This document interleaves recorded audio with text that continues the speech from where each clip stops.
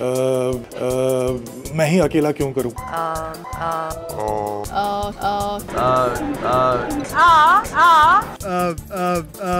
मैं ही अकेला क्यों करूँ? दावे से बोल सकता है झूठ बोल रहा या अगर वो नहीं करेगा तो फिर मैं क्यों करूँ? I think that is when it happens uh, unofficially or when we don't know. अ, है दावे से बोल सकता है झूठ बोल रहा इस टाइप के जो सवाल हैं हमारे दिमाग में आते हैं और फिर हम नहीं करते। Um, um... कि अ, अ, अ, और दूसरी इम्पोर्टेंट बात यह है कि अ, ये बहुत ही अ, देखा जाए तो इसके जो ये, जो इफेक्ट्स है मोस्ट इंपॉर्टेंट थिंग सबसे पहला ये जानना है कि हम ये कर क्यों रहे हैं।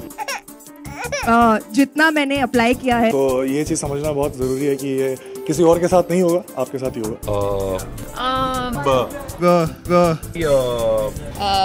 और आप ही कुछ करेंगे तो कुछ होगा।